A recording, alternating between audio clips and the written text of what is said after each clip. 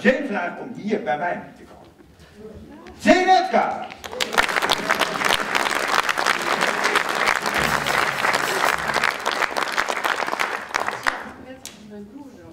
Nee, ik blijf lekker zitten.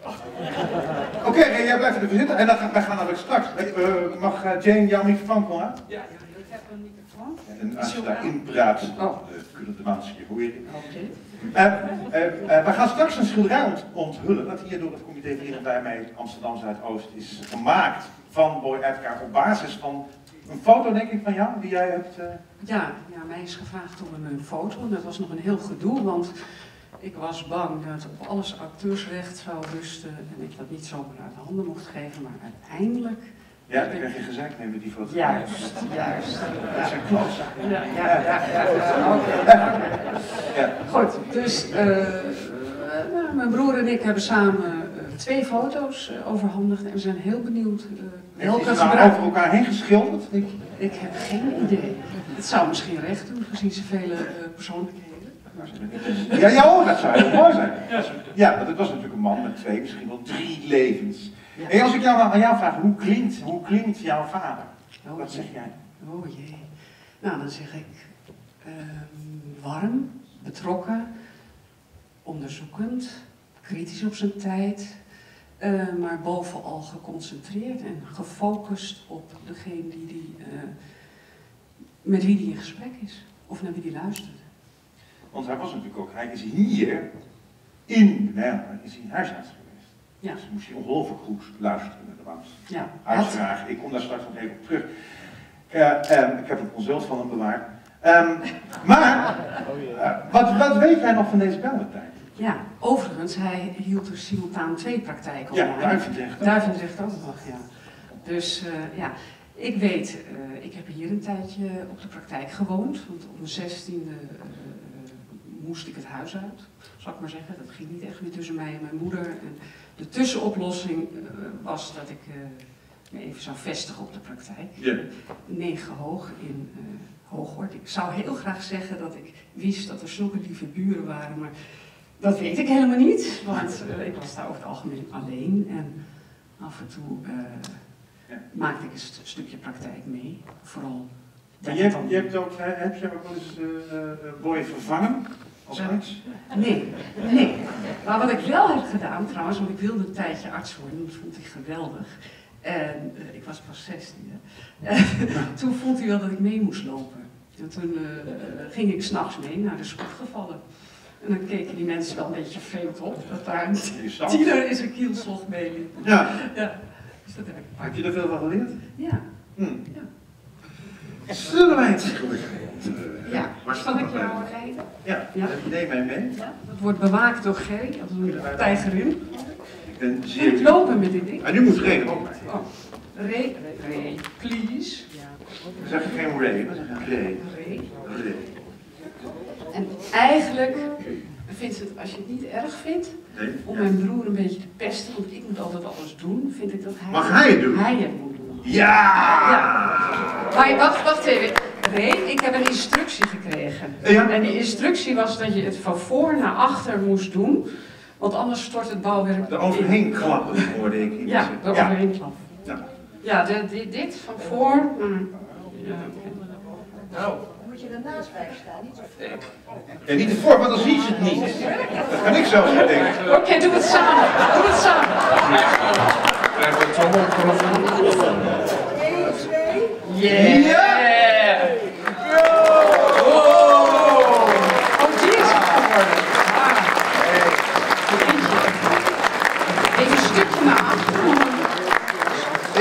Ik moet zeggen, het ziet er geweldig uit.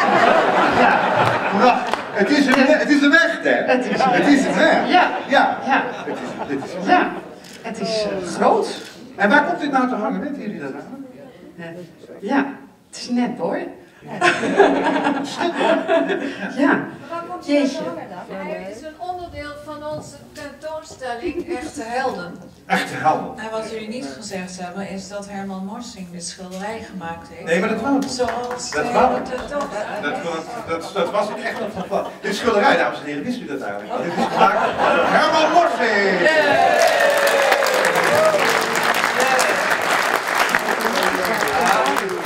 Echte helden. In de serie Echte helden. Na- naast Jan Pieter Koen en Michiel de Ruiter. Maar dat bedoel- Nou, ik vind het heel knap. Oké, nou, dat is prachtig. Ja. Uh, dankjewel. Uh, Jane Edgar, dankjewel.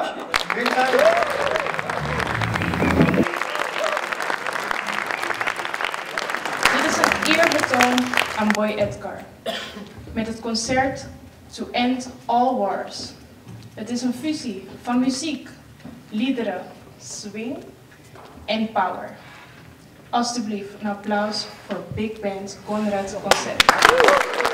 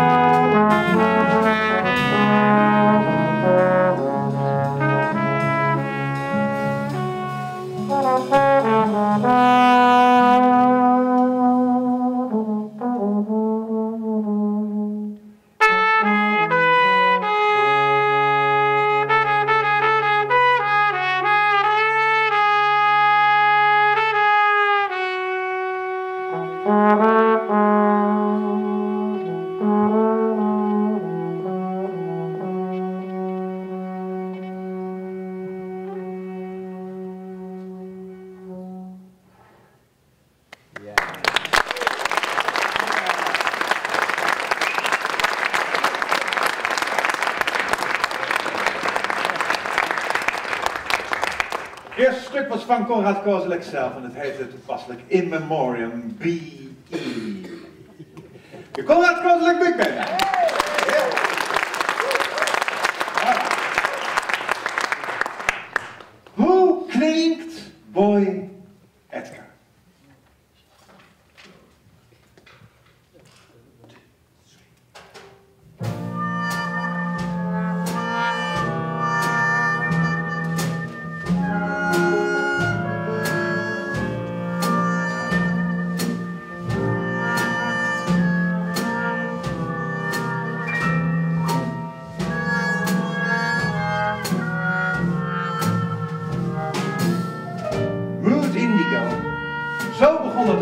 Duke Ellington.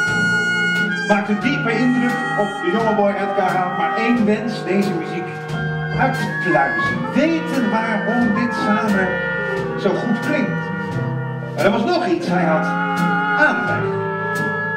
Hij leerde zichzelf piano spelen, trompet spelen. Hij kocht een trompet van een leerling die die bijles gaf en toen had hij dat ding toch. Dus hij dacht, nou ja, daar kan ik net zo goed op gaan blazen. Opkomst begin jaren 30. Het was een jongere cultuur, zoals later rock and roll zou zijn, punk, rap. Dat was toen jazz. En er werd bij gedanst. Het was sinds kort dansen, dat werd sinds kort gedoogd. Tot 1924 was er hier in Amsterdam dansverbod in alle openbare gelegenheden. De kerk vond het niks, de jazz. Bah, de dans ook niet. De kerk zei, men kan niet op aarde dansen en in de hemel pas vreugde smaken. En een pater zei, men danst en wals gelijk de kaffers. Men walst en wiebelt als ganzen.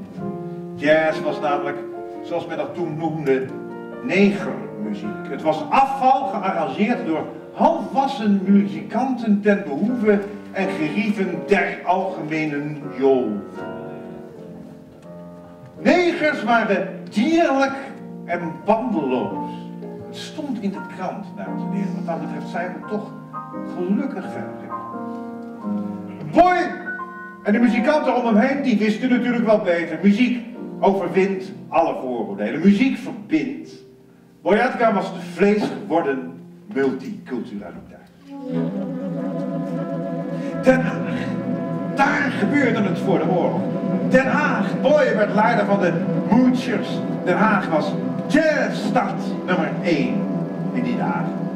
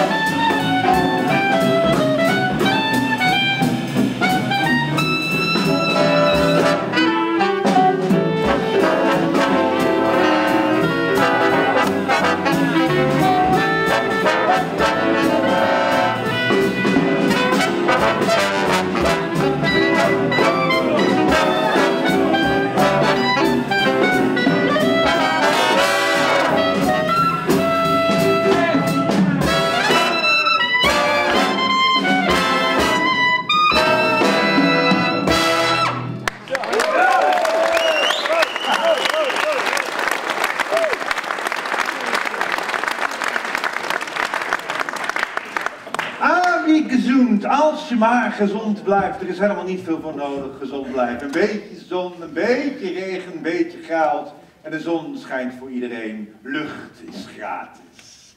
Het een Jiddisch liedje. Komt uit een Jiddisch film. In Polen werd hij gemaakt. De laatste film die voor de oorlog nog in Polen werd gemaakt. In 1918. Jiddisch, taal die veel Joden werd gesproken. We hebben natuurlijk woorden als mazzel, agenebisch, meshoche, koosje aan te danken. Ami gezond, als je maar gezond blijft. Daar droeg Boy Edgar natuurlijk zijn steentje aan bij. Hij, hij deed twee dingen. Hij zat en in de jazz en hij studeerde voor arts.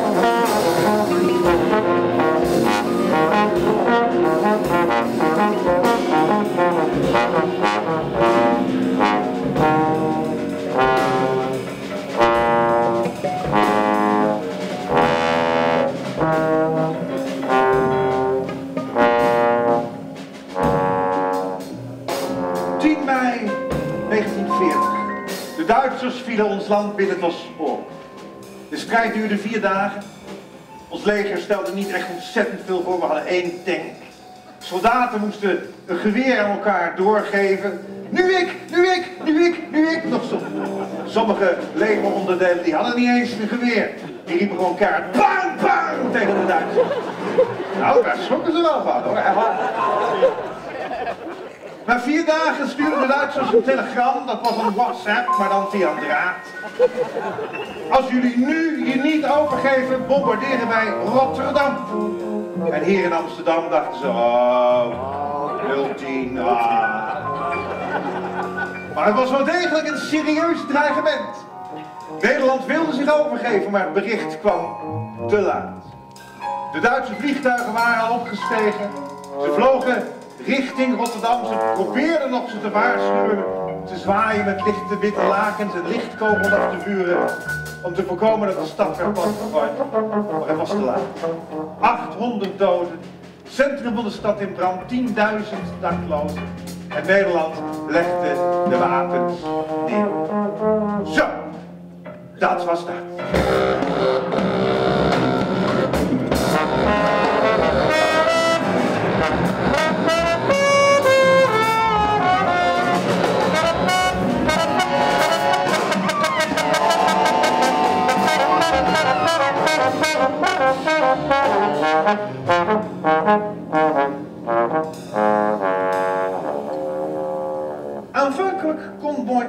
In Amsterdam gewoon blijven doorspelen.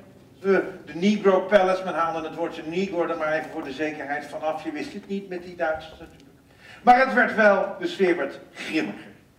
Knokploegen door, trokken door de stad, hij woonde in de Jodenbuurt. Sloegen daar Joden in elkaar, knokploegen van de NSB en de, en de WA. De NSB'ers, de, de, de Duitsers, die hielden ook razzia's, die vielen huizen binnen. Pakten Joden op, voerden ze weg. En toen kwam een staking, de februari-staking. Duitsers waren woedend, schoten de organisatoren van de staking en de stakers dood. En toen was het gedaan met de zachte aanpak. Eerst dachten ze nog, dat is een broedervolk. Maar nu werd het grimmig. En meer dan ooit legden ze de Nederlanders de wil op alle artiesten moesten lid worden van de cultuurkamer. Instituut dat beoordeelde of wat je deed door de beugel kon. Als ik toen cabaretier was geweest, dan had ik lid moeten worden van die cultuurkamer. Maar ik had dat natuurlijk nooit gedaan. Eh, ik zeg altijd, Hitler is een geitenwerker. Dat-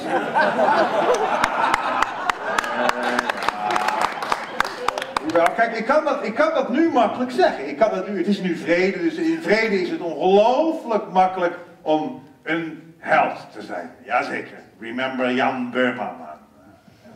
Alles, alles wat leuk was, werd verboden. Hot jazz, de pop van toen, die werd verboden.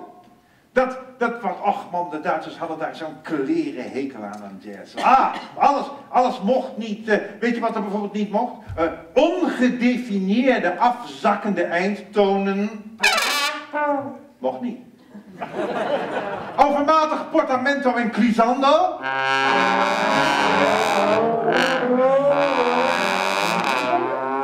Scheisse nogmaals.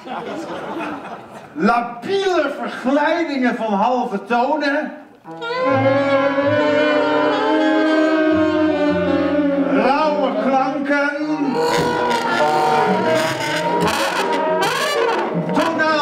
Tonaal ongedefinieerde praltrillers. Alsmede dubbelslagen. Het gebruik van rubberdempers.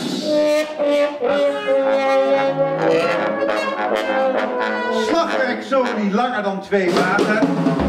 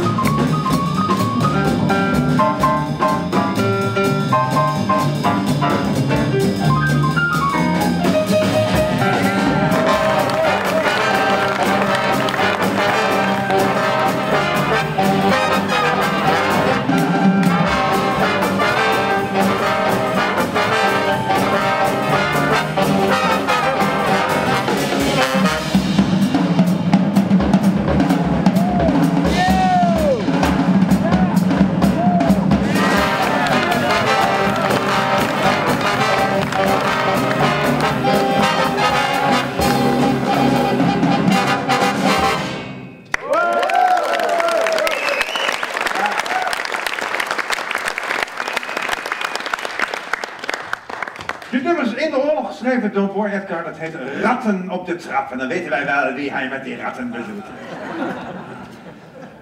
Boy Edgar, op een gegeven moment, eh, op een gegeven moment eh, was het niet meer raadzaam en te doen om in Amsterdam te blijven wonen. Hij verhuisde naar Heumen, bij Nijmegen, Heumen. En hij, werd daar, hij trok daarin bij een huisarts en hij werd assistent van die huisarts.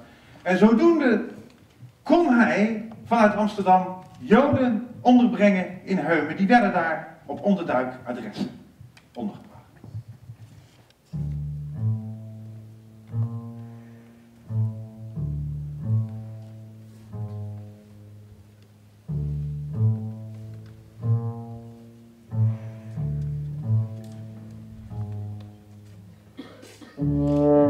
Ik denk dat het ongeveer 1942 was.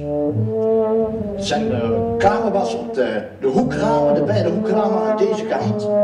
En de middelste raam met de middelste deur was voor Maartje, dat was zijn moeder, en voor Aartje, dat was zijn zuster. Hij woonde hier met zijn vrouw? Met zijn vrouw op de bovenste kamers, de, de beide ramen aan deze.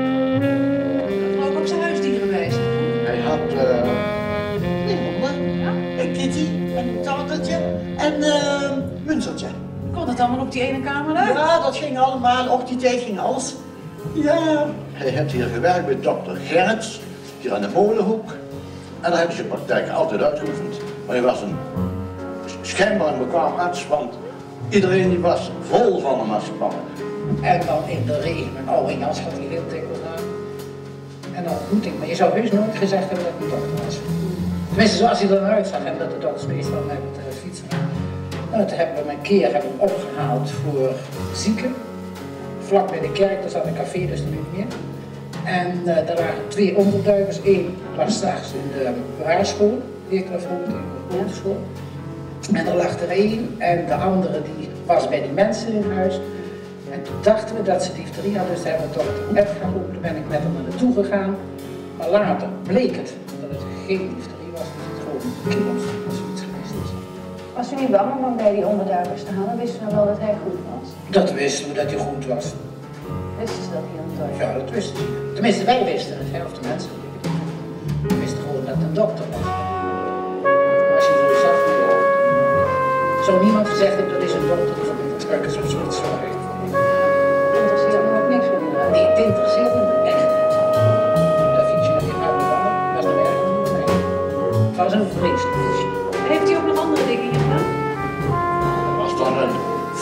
veeluitzender van Joodse mensen die Amsterdam hebben moesten Frankfurt ophalen voor Duitsers. En die hebben hier gebracht. Want in die boerderij daarachter in dat bos, daar waren Klaas en Liesje, waren kinderen van de jaren 17, 18. Hij was jaar van de baanklas. Kwam hij nou steeds eh, uit Amsterdam weer met nieuwe kinderen hier Ja, maar we wisten niet wanneer hij naar Amsterdam ging en ook niet wanneer hij terugkwam. Als het geval deed, dan had hij kinderen bij zich of de andere. En toen had hij zijn stak kinderen bij zich en die kon hij niet goed in een verrassing plaatsen, omdat die mensen te veel vroegen en er was niet te betalen. Die had maar een paar sieraden en nog over heen en daar doorbellen en dergelijke. Anders was er geen geld om daarvoor te betalen. En toen komen ze in verkeerde handen en toen worden die kinderen opgehaald en die zijn nou...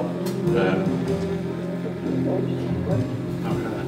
Westerbork gebracht. Heeft nog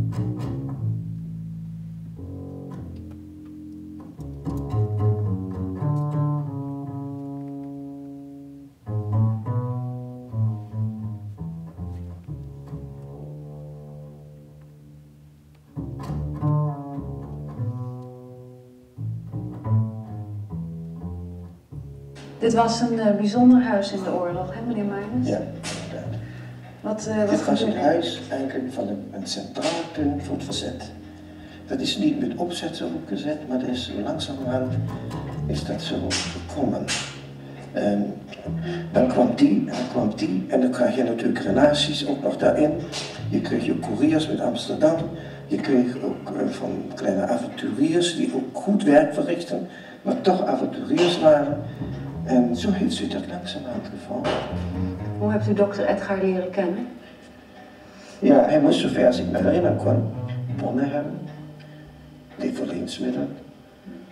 En hij probeerde ook of we iets, een document konden maken als, zo, als een paspoort of zoiets. Maar ik weet niet of we dat gedaan hebben, kan ik ook niet meer herinneren. En toen kwam pas het kind van René. Of eh, nee, René. René. René. René. Kwam René kwam pas ter sprake. Dat kan me herinneren. Hebt u hem toen niet goed leren kennen als het over Jawel. En ik heb toch wel voor deze man groot veel respect. En ik wist, in de loop dat ik Ja. zo kennis met hem maakte en zo vaak hier was, wist ik dat hij veel jonge kinderen ergens ondergedoken heeft. Dat hij zelfs in de gevarenzone leefde, omdat zijn vrouw een Joods was, of van Joodse familie afkomstig was. Maar dat hij niet eenstaande toch die kinderen hielp. Ja, in mei 1943 is Marion door dokter Edgar van Amsterdam uit hier naar ons gebracht. Hoe oud was ze toen ongeveer? Ze was toen eigenlijk vijf jaar, maar ze zei dat ze zes jaar was, vanwege natuurlijk dat ze ja, een beetje verschil van leeftijd was. Was u toen ook zo oud ongeveer? Ik was toen negen jaar. Maar eh, ze heette echt Marion, hè? maar hoe werd ze hier genoemd? Ze werd hier Reni Hendricks genoemd. Dat is een schuilnaam.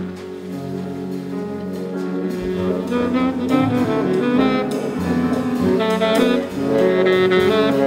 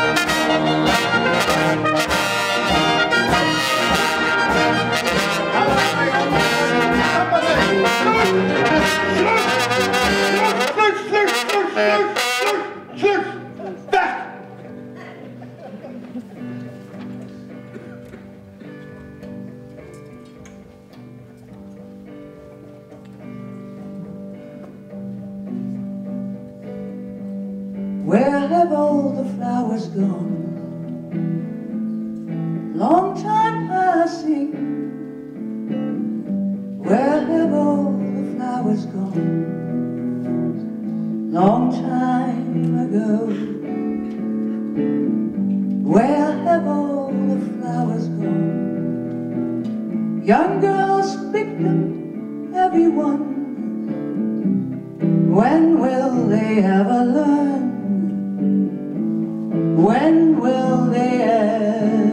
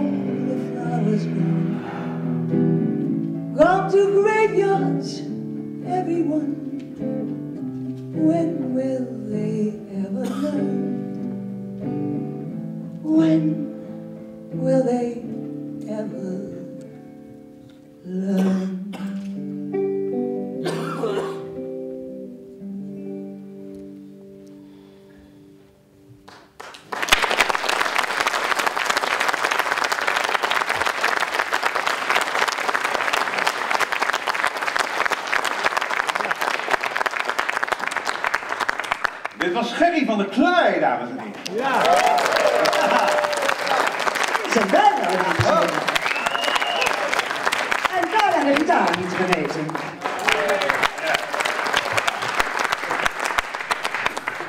...6 juni 1944 landen de geallieerden in Normandië. En men dacht toen hier in Amsterdam, nu zal het hier ook wel snel afgelopen zijn. Maar het duurde nog 11 maanden. Mei 1945 werd Amsterdam bevrijd. Eindelijk muziek. Het mocht weer.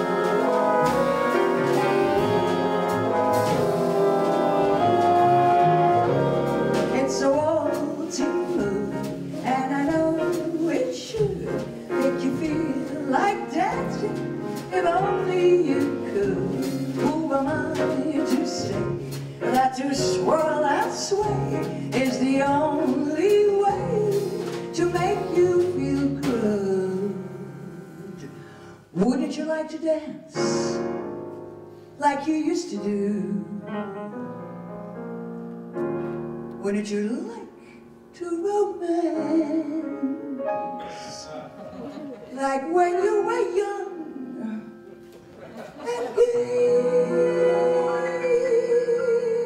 I know that this world of today takes the lust out of you to dance, move, love, and explore like before. It's a waltzing mood, and I know it should make you feel like dancing if only you could. Who am I to say that to swirl and sway is the only way to make you feel good? Do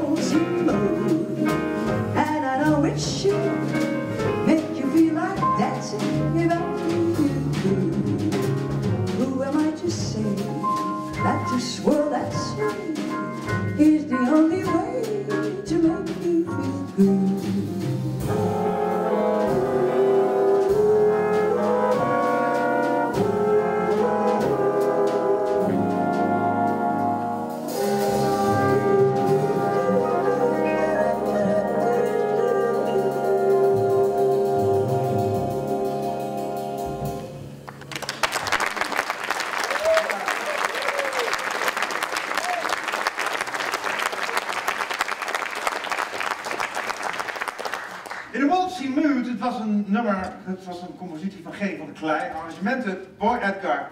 Eindelijk vrij 1945 en overal vanuit de huizen hoorde je de geluiden van de op gang komende babyboom. Boy Edgar, hij was een man van principes. Hij wilde na de oorlog niet als soldaat in Indonesië vechten. Wij vochten daar in een oorlog die hier de traditionele acties genoemd wordt. Onafhankelijkheidsstrijders, daar vochten wij tegen. En hij was loyaal aan Nederland, dat zeker. Natuurlijk, Nederland had zijn Armeense grootvader een veilig thuis geboden. Maar hij voelde ook verwantschap met Indonesië, want zijn moeder was Indonesisch. Hij moest voor de krijgsraad verschijnen veroordelen dat zes maanden cel. Hij ging op beroep en stelde hij voor om daar in Indonesië burgerarts te worden. Ze gingen daarmee akkoord, maar uiteindelijk durfden ze hem toch niet uit te zenden, omdat ze bang waren dat hij communist was. En toen werd langzaam stil ro- rond Boy Edgar. Zijn vrouw, Mimosa, met wie hij in de oorlog getrouwd was, werd ernstig ziek. Ze kreeg multiple sclerose. Boy Edgar verzorgde haar en schreef ondertussen zijn proefschrift over MS, over de afbraken van de eiwitten op de zenuwcellen. Dat was een baanbrekend onderzoek. Bijna niemand begreep dat proefschrift. Ik heb het gelezen, ik begrijp het wel. Het ging over de demyelinisatie van eiwitcellen op de zenuwcellen. Uiteindelijk stierf ze in 58 en Boy was totaal los. Hij verloor het begrip, de muzikale, op de grip op de muzikale en de medische wereld. En toen, oktober 1960, toen bestond dagblad Het Vrije Volk 15 jaar. Feest, er moest feest komen. Er moest heel snel een big band geformeerd worden. Trompetist Ado Broodboom, die wist één ding zeker. Het is Boy Edgar die dit big band moet leiden. Anderen zeiden nog, nee, Boy Edgar die zuipt als een beer, dat gaan we niet doen. Maar het gebeurde wel. Band bestond uit 16 man, de Diamond Five, dat was de jazztop van die dagen. De Diamond Five was de kern. En in de Diamond Five zat een drummer.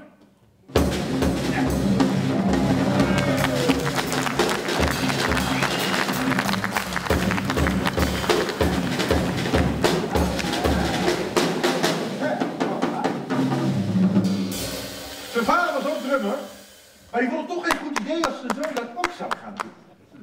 Zijn zoon ging dus naar de grafische school, maar dat was, uiteindelijk was dat toch niks.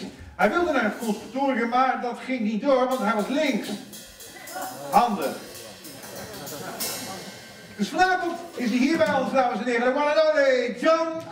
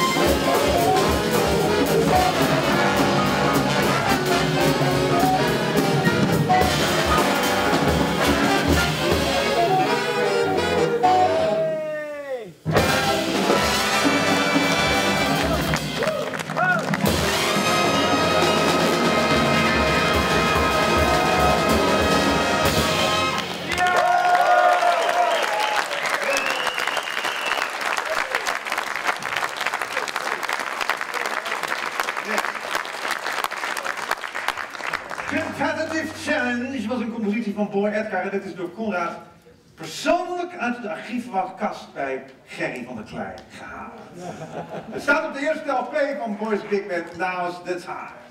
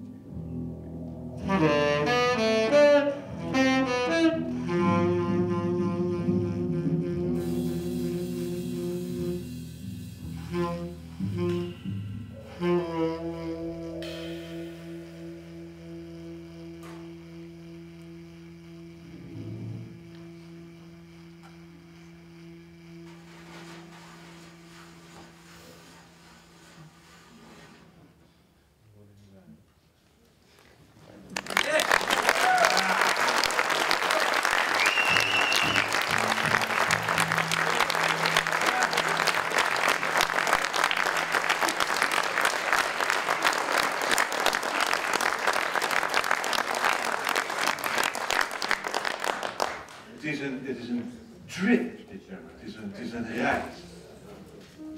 Eye, het was een compositie van, van de avocado muzikant Theo. Het is, eh, het is natuurlijk voor Simon Vinkenoog, Finch Eye, gemaakt.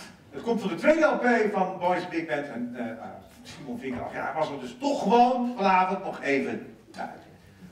Boys Edgars grote kracht was natuurlijk die avant-garde muzikanten en die gewone jazzjongens en die studio muzikanten, al die verschillende soorten muzikanten samen te laten spelen. Hij ging met Jay en Ray naar, en eh, zijn vrouw Ida naar Amerika en niet om te spelen, hij ging voor wetenschappelijk onderzoek. En kerstavond 1968 Ida verveelde zich dood, verveelde zich al een tijd dood, sloeg de keuken in elkaar en dat werkte zo aanstekelijk dat Boy Edgar zelf ook mee ging doen de keuken in elkaar gaan slaan. Die, die nacht belde die nog naar de KLM en twee dagen later waren ze terug in Nederland. Boy Edgar's Big Band was niet meer Boy Edgar's Sound, wel, met als vaste zangeres Gerry van der Klein vanaf 1971.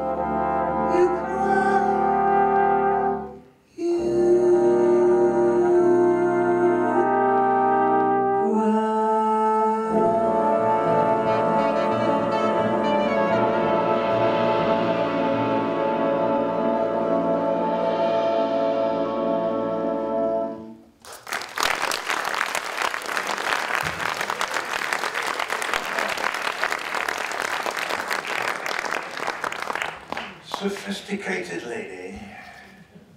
Dat was een stuk van Duke Ellington en dat is eh, gearrangeerd door Conrad Kozilek. De eerste, eerste concert dat Conrad samen met Gerry gaf, zei Gerry, Conrad is de herboren Roy Edgar.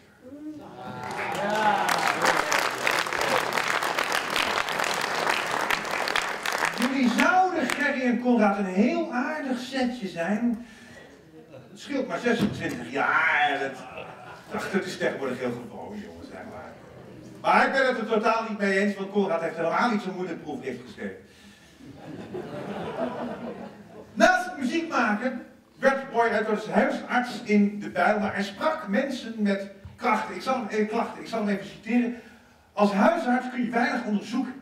Alles wat je doet is een beetje raden.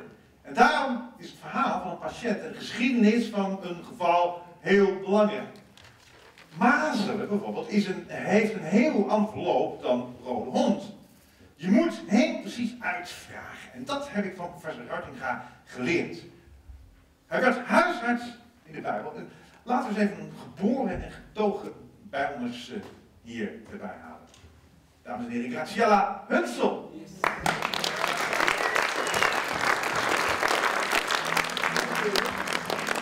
Krijg jij ook in de microfoon gevoerd? Zij komt er nog. Daar komt ze. Daar komt ze, daar komt ze. Graciela.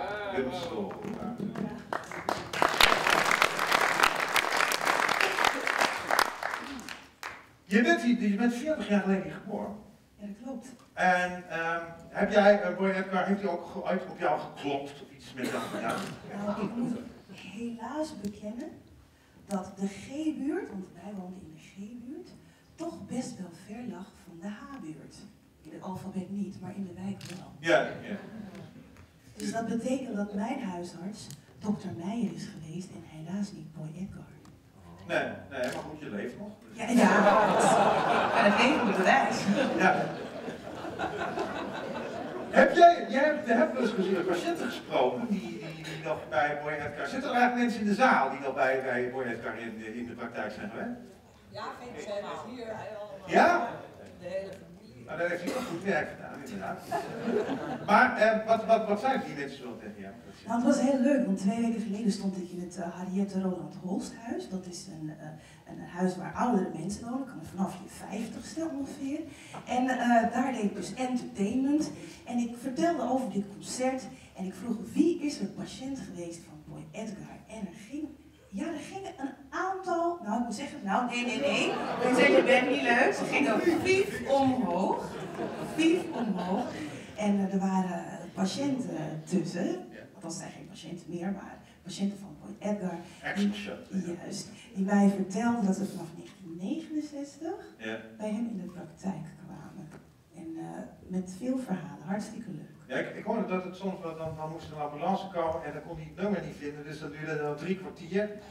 voordat die ambulance ter plaatse was. En Boy heeft dan gevraagd om gidsen op de ambulance. Zo pionieren was het hier. Ja. Maar, jij bent niet alleen een geboren getogen Bijlmer, jij zingt. Ja, dat klopt. En dat ga je dus ook nu doen. Dat ga ik zeker doen. En jij gaat volgend jaar het Songfestival horen, of niet? Dat wil jij heel graag. Dat is dat jij Gerry. zeiden. Waar is? Naar het Songfestival moet met dit lied. Ja. Nee, ja, nee, dat, gaan, dat, gaan we, dat gaan we proberen te regelen. Is, eh, in Nederland is het helemaal... Nou, wacht even, wacht even, wacht even. Oh, jullie hebben het natuurlijk al horen zingen, dus jullie weten al hoe dat is. Ja. Oké, je- je gaat quiet zingen. Yes, dat klopt. Dames en heren, Gratia Hensel!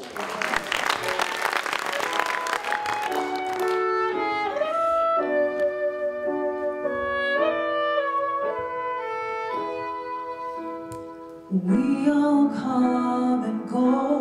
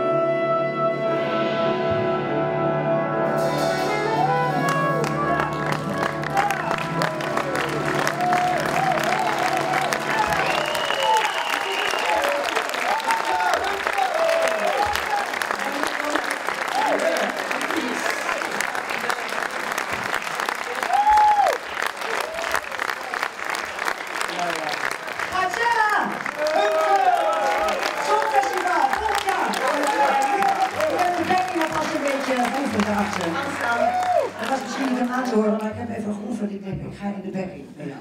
Komt goed. Ik zoek, ik zoek nog wel leuke meiden. Een beetje gemix zo, een beetje funky leuke, wat oudere, oudere, oudere dames gewoon. Ja, dat die ook eens aan de bak komen. Precies. Hè? Ja. En dan jij als lekker ding en dan wij daarachter. Oh, wauw.